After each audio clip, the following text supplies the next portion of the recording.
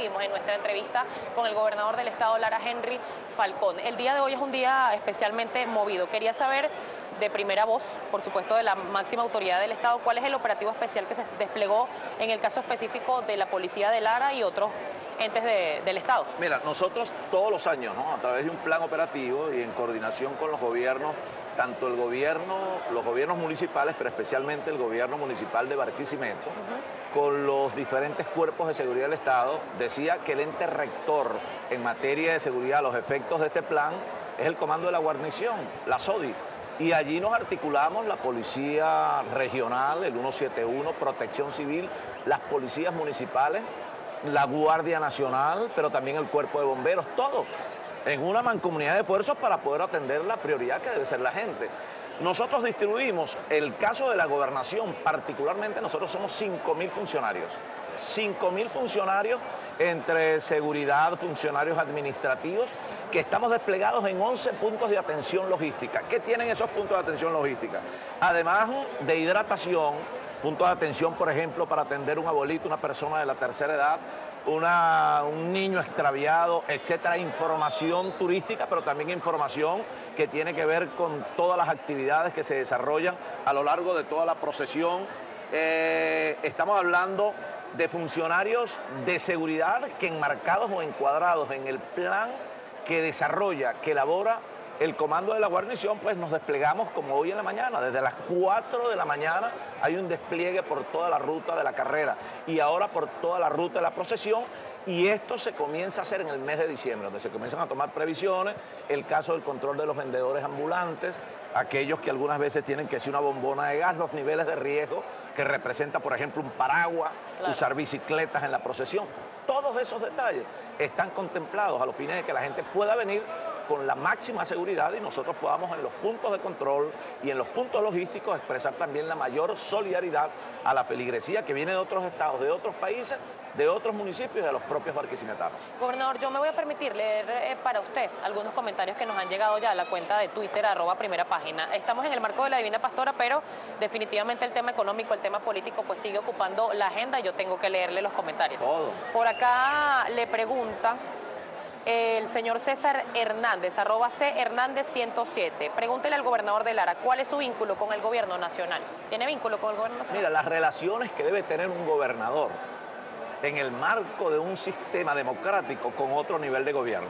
Las mismas relaciones que tengo yo con el, gobierno nacional son las que tengo con el alcalde de Caguares y con el alcalde de Barquisimeto.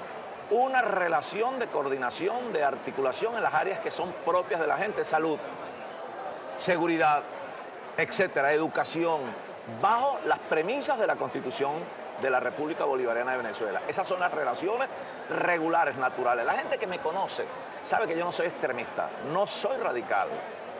Jamás apelo a posturas revanchistas, ni tampoco a la violencia. Jamás la condeno desde todo punto de vista. Y otra cosa, tengo criterio. No soy loro para andar repitiendo, repitiendo cosas que dicen otros. Yo creo que este es el momento hoy del país donde hay que actuar con mesura, pero también con responsabilidad, frente a la historia y frente a las generaciones futuras. El que me conoce sabe que nosotros hablamos con hechos concretos, con obras, con acciones. Yo camino a los barrios, yo voy a los campos, yo no soy gobernador de cuatro paredes, ni soy gobernador rodeado de escoltas y caravanas y motos, yo no soy gobernador de eso, yo soy un gobernador de la calle, pero sin pantallerismos, pero tampoco sin radicalismo. De manera que con eso queda lo suficientemente claro que nosotros tenemos un compromiso en la Constitución y en la gente que trasciende la visión exclusivamente partidista o la visión que yo pueda tener del país. Gobernador, hablamos hace minutos del monumento de la Divina Pastora y, con respecto a este tema nos comenta el señor Germán Cortés. No estoy de acuerdo con miles de millones que costó hacer ese monumento y los hospitales sin medicinas. ¿Qué le responde? El, el problema de los medicamentos en los hospitales no son los hospitales, son los hospitales, las clínicas. Es un problema asociado a qué? A las grandes distorsiones de la economía, a la caída del aparato productivo, a la falta de divisa y la caída del precio del barril de petróleo. El problema es que así como hay deudas con las empresas aéreas, hay deudas también con las empresas farmacéuticas, con los grandes laboratorios. Entonces en un hospital no es que se tenga el dinero, eso es como cualquier ciudadano, pues. Tú ahorita tienes, puedes tener muchos recursos. El asunto está que con el recurso no consigues hoy jabón, ni se consigue papel toalete. Entonces de ahí que hay un problema de desabastecimiento porque no se produce en Venezuela. Y lo que teníamos antes para importar ya no tenemos la cantidad de dólares. No sembramos, como decía Arturo Prietri, no sembramos el petróleo. No supimos de verdad trabajar en el potencial que representa para este país la riqueza petrolera. Y eso viene articulado a todo. Ahora, eh, los beneficios de un monumento como ese, además de lo espiritual, lo religioso, ¿cuántos turistas? Solamente verifiquemos, vamos a averiguar cuántos visitantes van al Cristo Redentor en Brasil, cuántos turistas van a la Virgen de la Paz, eso no representa de alguna manera una fortaleza para un Estado, porque cada turista se hospeda, compra artesanía, compra comida, y aquí hace falta también activar en todos los sectores, bueno, el aparato productivo por la vía también del turismo. Nosotros acá tenemos grandes paisajes, Sanare, la cascada del vino, Aregue, Humocaro Alto, Humocaro Bajo, por aquí Tintorero, eh, Cubiro, etcétera. El monumento, más allá de lo religioso, debe ser un gran ancla, un ancla importante para poder fortalecer el turismo también de las zonas foráneas de Barquisimeto. Es el impacto productivo también que tiene la obra. No hay que verlo con criterio mezquino, con criterio reducido. Tenemos que verlo con criterio amplio. Políticamente hablando, quizás. ¿Cómo? Se está politizando este caso, quizás. No, no debe politizarse, porque esa no es la idea. La idea es que así como podemos confluir lo que estamos viendo acá, pues, aquí hay gente que puede tener pensamientos muy diversos y pueden ver al país de una forma y de otra, la actuación del gobierno, la actuación de otro gobierno, gente que votó por mí, gente que no votó por mí, pero aquí estamos unidos como hermanos en la fe a nuestra Madre, la Divina Pastora. Eso es lo que debe imponerse en el país. Trascender la diferencia política para abordar los temas de la gente de manera prioritaria. Gobernador, creo mucha polémica eh, el sacar los cuadros del expresidente Chávez y del libertador Simón Bolívar de la Asamblea Nacional. Y con respecto a este tema, le pregunta el señor arroba JAMM62. Gobernador, ¿qué quiso decir con el respeto a los símbolos patrios? Chávez es un símbolo patrio, le Bolívar no es un símbolo patrio. Bolívar es el padre de la patria. Yo hablo solo de las formas y no quiero entrar en un en, una, en un debate, en una situación incómoda sobre un tema que ya fue debatido suficientemente. Pero yo, Henry Falcón, lo hubiese hecho de otra forma. Bueno, listo. Henry Falcón.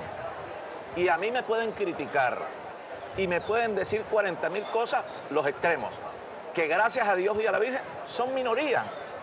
Los extremistas radicales de este país son minorías, son pequeños grupos. Hacen bulla, Twitter y los laboratorios. Los laboratorios esos que tú sabes se activan para atacar, para atacar a quien asume frontalmente la verdad. Yo la asumo, la asumo. No soy esclavo de quienes atacan a través de las redes. Yo tengo mis formas de actuar. Yo en Lara gobierno para los que votan por mí y para los que no votan por mí también. Yo soy gobernador de todos sin excepción. Y creo que en la situación de dificultad extrema que presenta el país, repito una vez más, el camino no es otro que la concertación. A mí también me satisface cuando vemos posturas mm, de consenso que de alguna manera nos van mostrando no solo la posibilidad de que podamos entrar en un momento de evaluación equilibrada de la situación para no repetir los escenarios que se han producido en otras latitudes. Colombia, Nicaragua, Perú han tenido crisis más agudas que las nuestras y han terminado sentados conversando. Ahí está el gobierno colombiano, sentado en una mesa con la FARC. ¿Cuántos años el bloqueo económico del gobierno de los Estados Unidos a Cuba? ¿Y dónde están? En una mesa concertando, dialogando. ¿Y por qué nosotros hijos de Dios, hijos de Bolívar, no podemos concertar, no podemos entendernos. Ah, porque hay sectores extremistas radicales que viven y prefieren la polarización que mucho daño le ha hecho al país.